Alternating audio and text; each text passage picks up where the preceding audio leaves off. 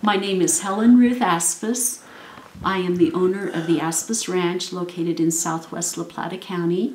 Today was a momentous day for this ranch because it was placed on the historic register for La Plata County.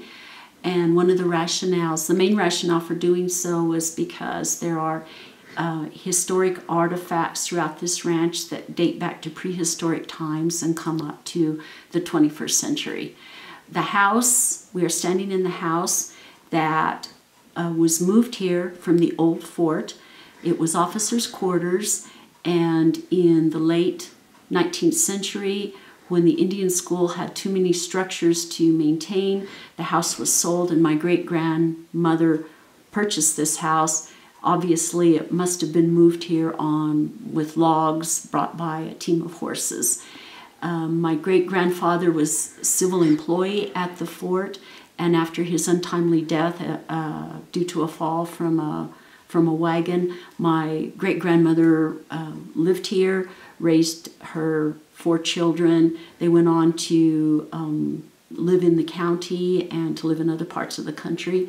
After she passed away in 1920, the house uh, was then occupied by my grandparents my father finished his youth and adulthood here and then after world war ii my parents got married and settled here and so i have grown up in this house.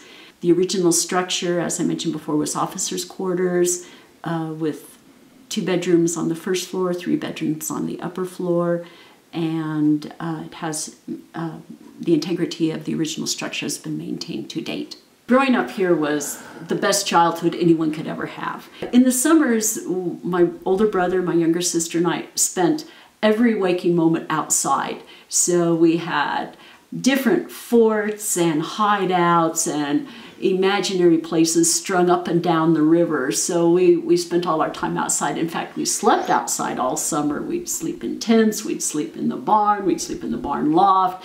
And uh, finally, in the late in the late 1960s, our dad decided maybe two teenage daughters just sleeping out down at the river was probably not the best thing, so he built the little cabin east of the house, and it's still intact. And one of these days, I'm going to move it up here and have it closer to the closer to the house. So a childhood here was absolutely wonderful. Our mother said she never worried about us at all. She knew we were down at the river, and we were always safe. We were always just enjoying life and that's probably that was probably the major factor for me wanting to put the ranch into a conservation easement because I wanted to protect this natural landscape and the the wildlife that we have become so attached to.